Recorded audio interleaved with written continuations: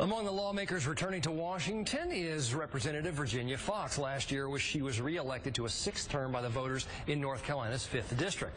Congresswoman Foxx says she's focused on three main issues, the economy, lowering energy prices, and reducing regulatory burdens. We're going to start holding the federal government more accountable for how it places burdens on small businesses, municipalities, and states. And Representative Foxx was not wasting any time during this new session. She had planned to introduce a new bill this afternoon.